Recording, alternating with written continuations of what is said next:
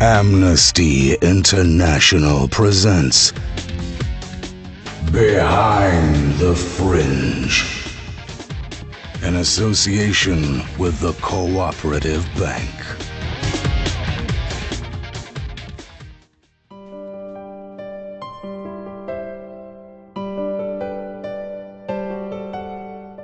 Here on a heady summer afternoon, amidst the rural idyll of the Scottish lowlands, not far from the sleepy town of Edinburgh, a hidden menace lies in wait. In its dark lair resides a terrifying predator, soon to descend on the watering holes of the neighbouring township. The swift, the savage, Ed Winatus Inflammatus.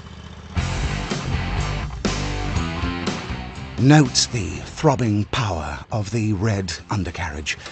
Red, nature's sign for danger, was never more apt, as soon this beast will begin its annual migration to an orgy of destruction, a festival of ferocity. He twists and turns like a sleek, well oiled machine. Note the deathly pallor of the head, the cold, merciless eyes. He is ready to devour. I think he's seen us. As with bears, when faced with an untamed comedian, one should remain absolutely still. Still as stone, frozen like a. like a. like a still thing. Oh, bugger.